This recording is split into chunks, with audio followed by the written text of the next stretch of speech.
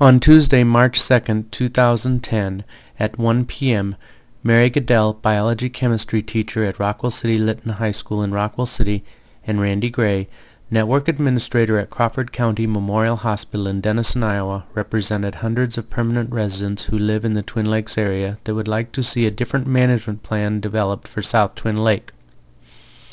Mary currently lives on the south end of South Twin Lake, and Randy grew up on South Twin Lake and spends many weekends there to this day. Randy's mother still lives at South Twin Lake each year from May through October. Residents overwhelmingly believe that the current plans developed by the DNR and Ducks Unlimited for South Twin Lake are being applied to the wrong lake at the wrong time with the wrong approach.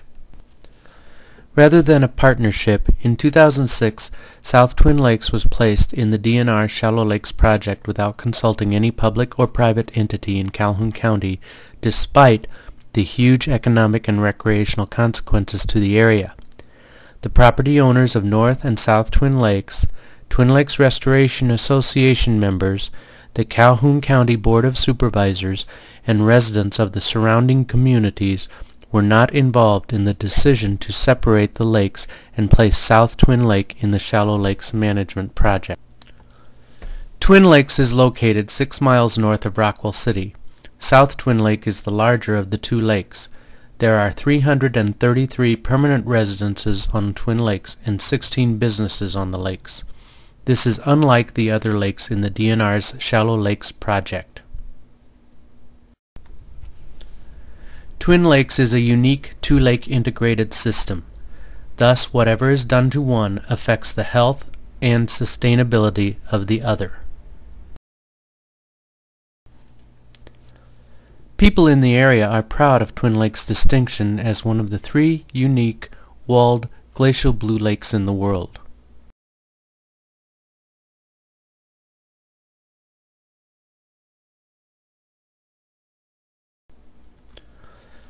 The two-lake integrated system was at one time a much larger single lake created by the glaciers.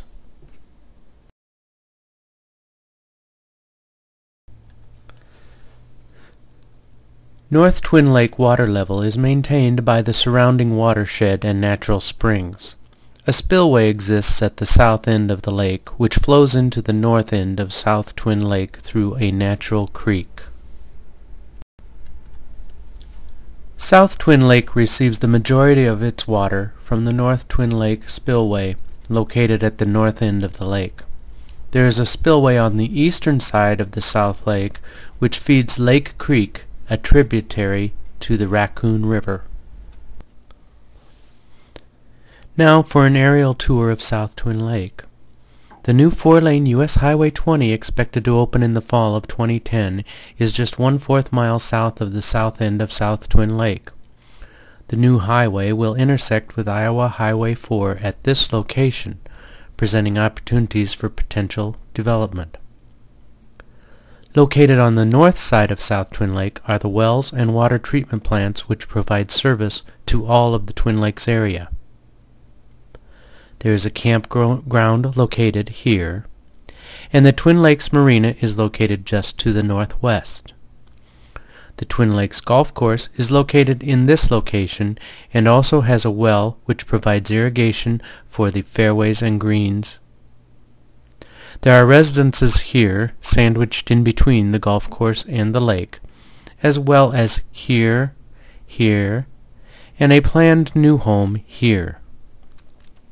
Future development possibilities are located in this location where there is possibility for a gas station or truck stop and hotel or motel.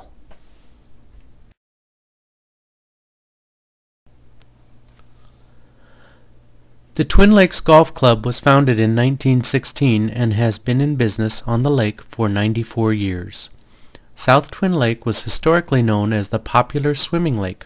However, in 1939, the Conservation Commission approved dredging the North Lake and dumping over 1 million cubic yards of silt into South Twin Lake. Failure of the swimming businesses soon followed.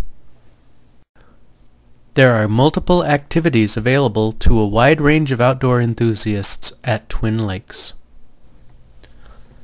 North and South Twin Lake have numerous organizations that sponsor events that draw large crowds throughout the year, spring, summer, winter, and fall. Twin Lakes businesses provide many services to the residents living in, on North and South Twin Lakes and the surrounding area. Our organizations at Twin Lakes are very active. For example, Twin Lakes Trails has completed a $1.3 million trail around the two lakes. The majority of this trail is paved in concrete. Our parks generate over $100,000 annually in camping and cabin rentals. It is the wrong time to drain South Twin Lake and let the fish rot on the lake bed. Because Calhoun County residents were never consulted, people in this part of the state have been pursuing plans to create jobs and increase tourism in our area. With the completion of the US 20 four-lane highway, we'd like to be able to welcome people to our lake area. We're excited about the recreational possibilities, but we need the lake. The Rockwell City Betterment Committee would like to connect their trail to the Twin Lakes Trail. Currently, over 7% of the county taxes come from Twin Lakes properties with an opportunity to increase that revenue with further development in the South Twin Lake area. Economic development possibilities will dry up if the lake is drained.